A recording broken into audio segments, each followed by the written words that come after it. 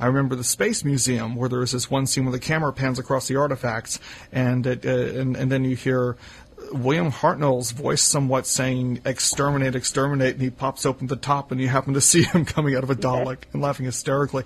I thought that was great. I don't know if that shot was intended, um, but it, it, made for perfect, uh, perfect comic relief.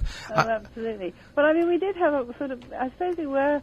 It, it did become very, very successful, and I remember that uh, one um, for one episode, one serial, we wanted um, uh, we wanted a, a clip from a Beatles song. Hmm. And I, in those days, I rang up an, an Apple Mm-hmm. and said, "This could you get let us have something for Doctor Who?" And they very kindly let us have a piece.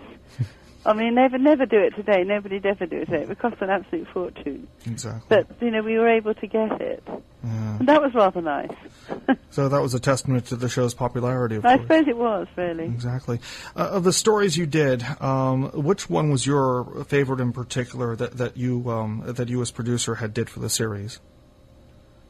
I really, really liked the Daleks' invasion of Earth Mm-hmm.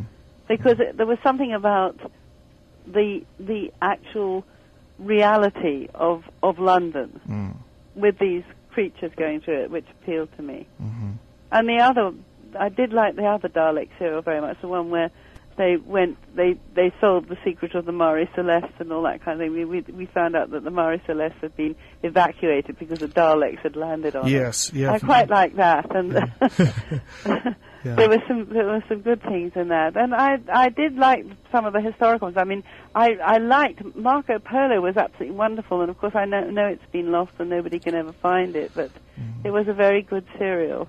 Well, thankfully, uh, some fans have uh, audio recorded this uh, so much to a point that they uh, one had like a, a direct line from the from the cable from the audio cable on, the, on his TV speaker directly to his tape recorder, and uh, we, we happened to take a look at uh, in an animated uh, version, if you will, of Marco Polo. Oh, really? Yes, and and uh, the animation looks uh, it- it's it looks quite good uh, considering that it was put together within a brief period of time. But it, uh, it it's enough to go ahead and flesh out the story and to give one an idea as to what it's like. Uh, hopefully, that Yeah. might be a possibility at resurrecting the uh, the older adventures. It's it's just a sh- it's just a shame that nobody had the foresight to realize that this show was going to go on the way it has, and and and, and instead they take some of these uh, tapes and just uh, throw them into the fire. Regrettably. Yeah, I know. It's sad. Yeah. Well, I know William Hartnell said that Doctor Who could go on forever. Did you have any inkling that as you started shooting the pilot about 40 years this month, uh, in September of uh, 1963, that it would have lasted this long, that, uh, that uh, selecting a doctor would be the equivalent of the excitement of the Catholics selecting a pope and, and, and, and, and, and, uh, and, and a police box being officially owned by the BBC and, and, and a Dalek being on a, on a stamp uh, for, for the Royal Post? I mean, did you ever imagine that this would be a tremendous uh, part of British popular culture and at the same time, like King Arthur and Robin Hood and Sherlock Holmes, a tremendous part of British uh, cultural legend?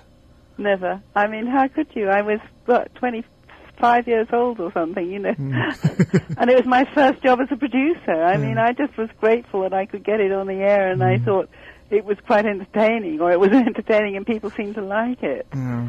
Um, but I never, no, I could never. I mean, I thought it was a very good idea, and um, Uh, and once it, it got, you know, it got into the ratings and people really loved it. I thought, well, this is wonderful. But I mean, of course, you can't. You just have no conception, do you, that it's mm-hmm. going to go on forever like that?